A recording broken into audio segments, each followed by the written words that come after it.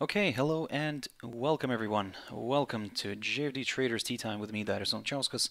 Today is the 27th of April 2020. So, yep, welcome everyone. Welcome to this Monday's afternoon recorded session where we're going to have a quick look at the markets, a few of the charts, um, the usual stuff. But before we do that, as always, let's quickly have a read through our risk disclaimer. So, the content we produce does not constitute investment advice or investment recommendation, should not be considered as such, and does not in any way constitute an invitation to acquire any financial instrument or product. As always, a few seconds for you to read the rest, and we can continue.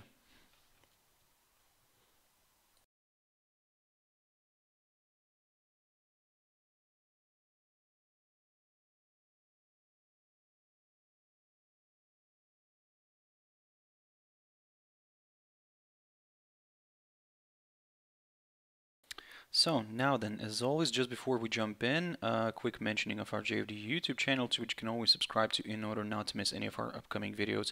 And of course our JFD Bank website and specifically our JFD research page which we also update on a daily basis. So yep, uh, feel free to visit us here on jfdbank.com and click on the research tab right there. So I believe you can find some useful information here for yourselves guys. So uh, now then, a quick update on what's happening here globally. So this was the previous number for the US, um, but let's have a look at what's happening globally first. So have we hit the 3 million number or have we not? So we're very close.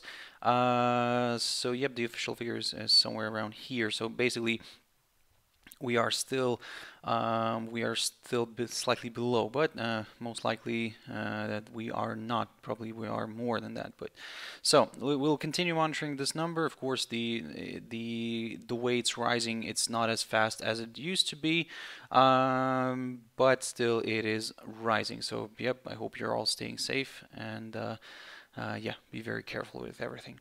Now then, uh, jumping into um, a few instruments here. So the first one I want to touch on here is the Nikkei uh, 225 here.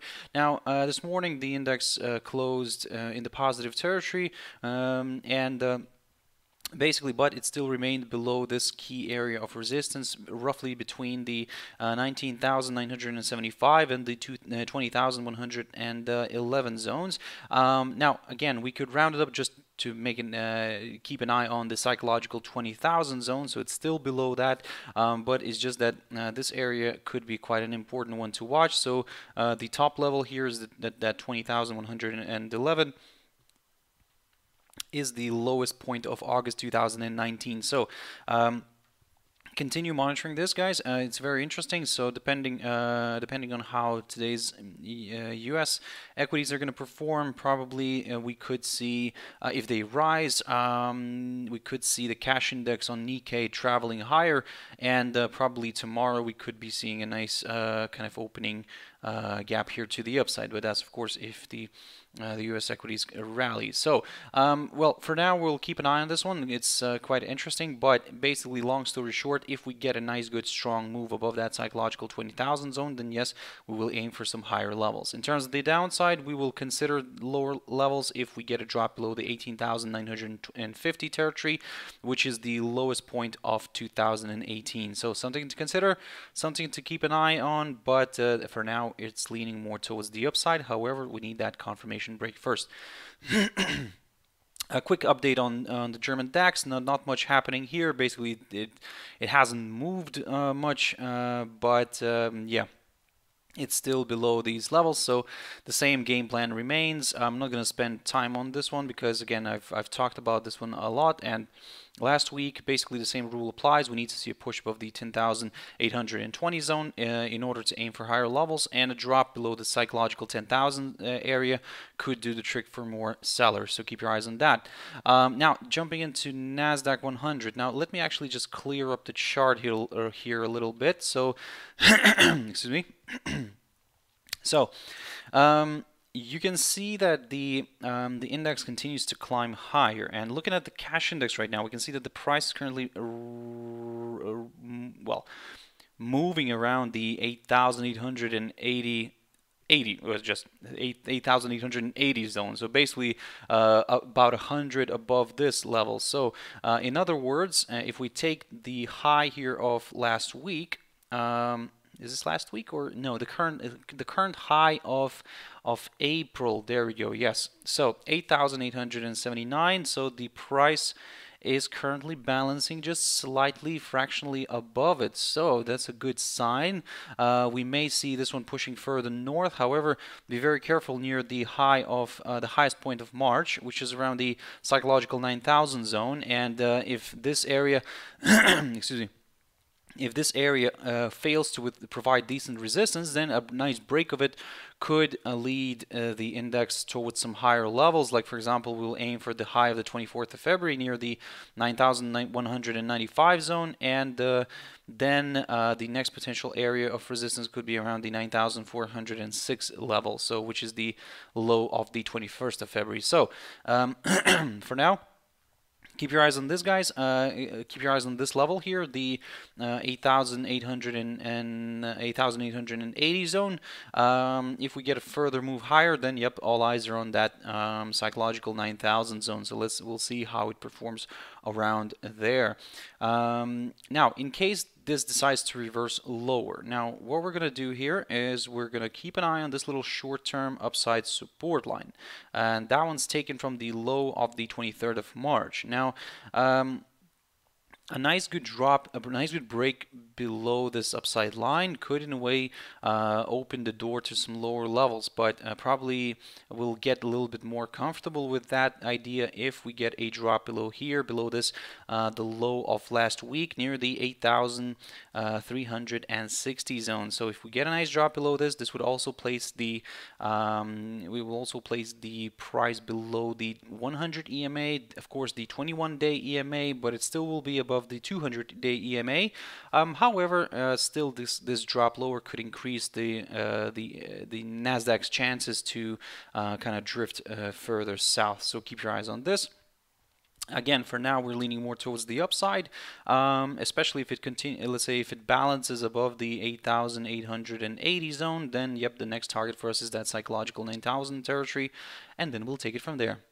Um, Brent oil, quick update on this one. Uh, so this one is sliding a little bit lower today. So however, as I've mentioned this morning, uh, in order to get a little bit more excited with lower levels, we needed to see a nice drop below the low of um, the low of Thursday, uh, which is around 20.10 zone. So as you can see, this is where the uh, the index is. excuse me where the oh sorry the index the commodity is currently uh, balancing at. So in a way we need to see a nice good firm move here below this area below of course that psychological 20 zone and because it keeps on flirting with that area. And then yes we could uh, maybe consider further declines especially if we get a daily close below this area below the psychological 20 zone then yep uh, further declines are possible guys. So bear, be very careful here right now.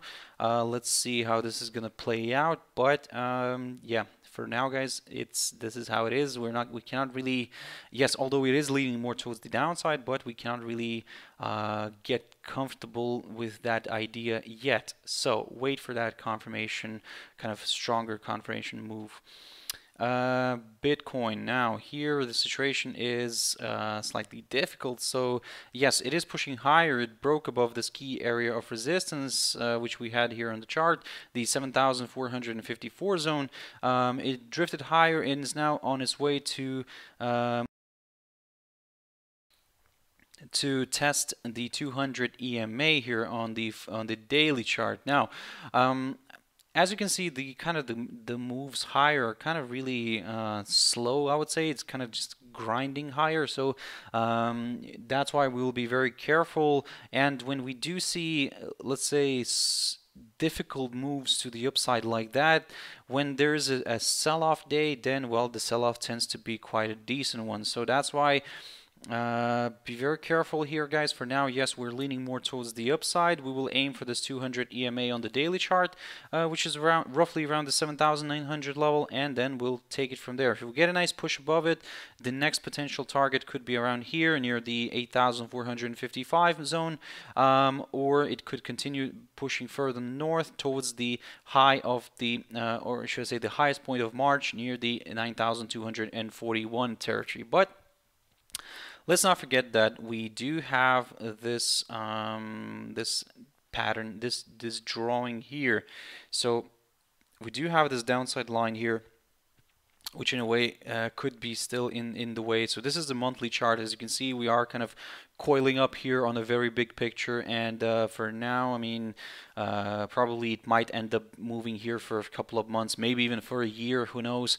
Um, and uh, but eventually this if we will refer to the technical analysis rules then well eventually this will have to give us a nice either a pop here uh, through the up uh, through the upper side of this triangle or um, uh, a strong slide through the uh, through this lower side of the triangle. So again, for now, uh, we're just monitoring this one uh, from the very short-term perspective. Yes, we are leaning a little bit more to the upside. However, there's there's a bunch of resistance levels that we need to consider here. So the first one being is the, the 200 EMA on the daily chart. Um, USD JPY. So I've talked about this one this morning, and to be honest, the same idea still uh, applies.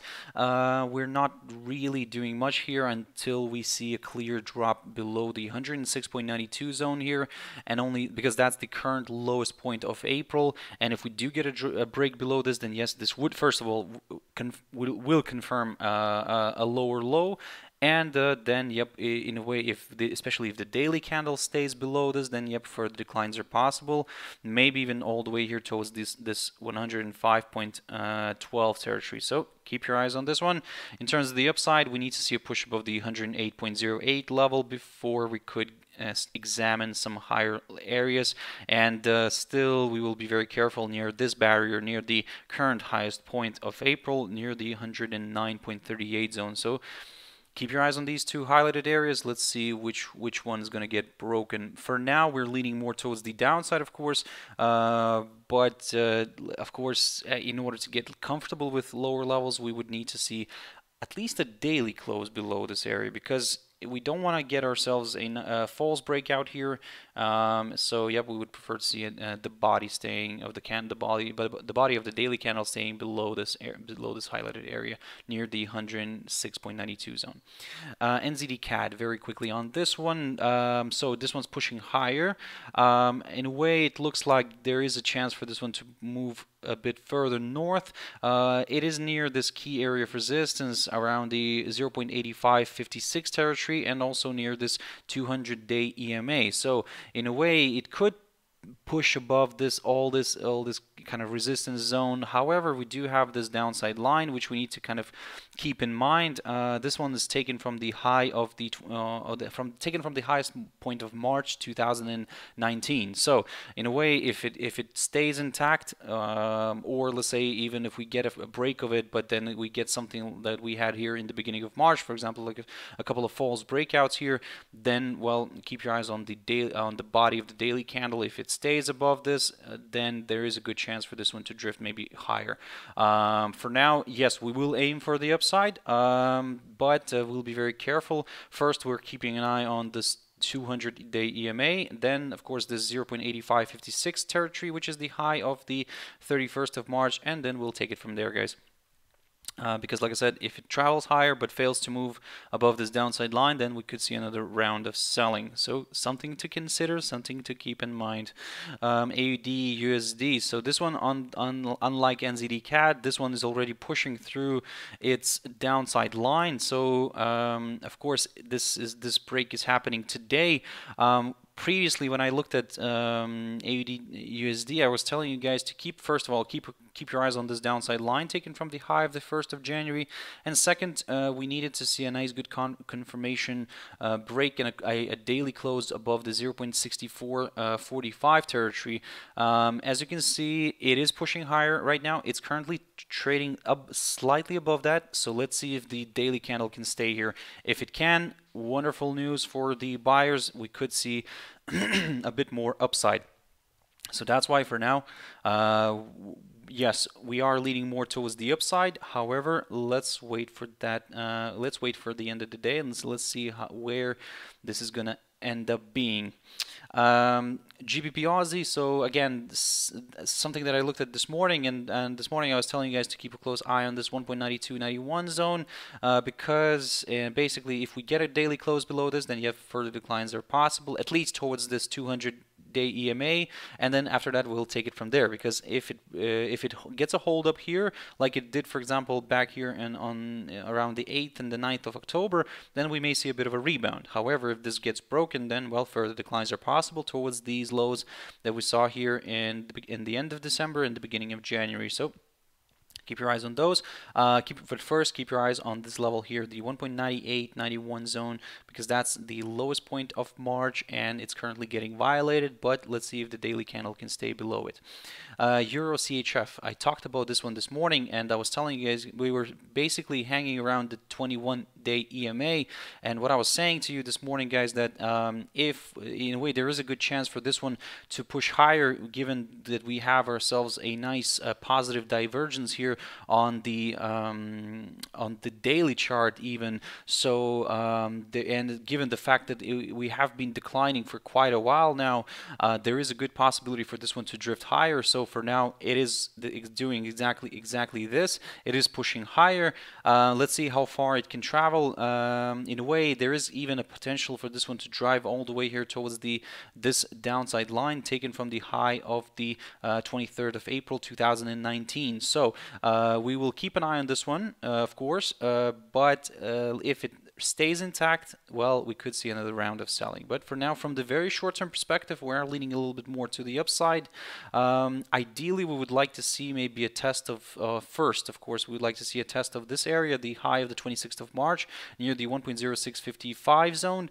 And uh, then the next uh, potential area to consider could be the highest point of March, around the 1.07 or should I say even 1.0710 uh, territory. Let's round it up a little bit. So uh, again, for now, guys, uh, yes, it is it is leaning. We are leaning more towards the upside especially uh, the this is supported by the uh, our by our oscillators here on the daily chart um, so yep there's a good uh, good good kind of uh, chance for this one to uh, drift further north. So, keep your eyes on this one. And finally, Euro USD. So I've talked about this one this morning, and I was telling you guys uh, to keep an eye on this little kind of formation.